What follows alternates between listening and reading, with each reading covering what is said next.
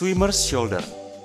Swimmer's shoulder adalah cedera bahu yang banyak dialami oleh perenang. Penyebab swimmer's shoulder antara lain berenang dengan teknik yang salah, berlatih renang melebihi batas, serta memaksa menggunakan bahu yang sudah sakit.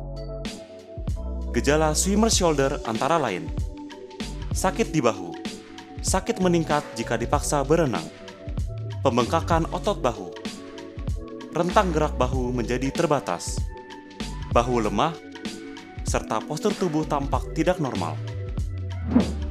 Pencegahan swimmer shoulder antara lain Istirahat jika bahu tidak nyaman, belajar teknik renang yang tepat, memperkuat otot bahu, serta stretching dengan hati-hati.